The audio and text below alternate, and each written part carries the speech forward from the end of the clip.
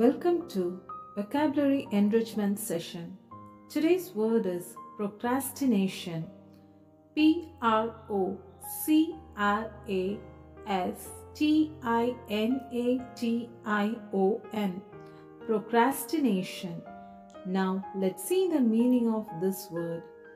To keep delaying something that must be done immediately to keep delaying something that must be done immediately.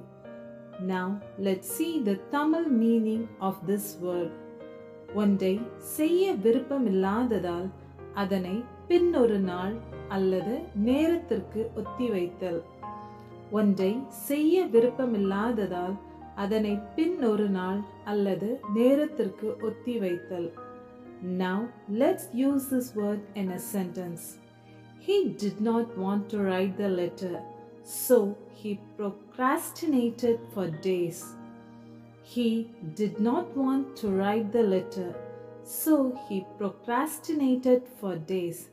This is all for today. Thank you.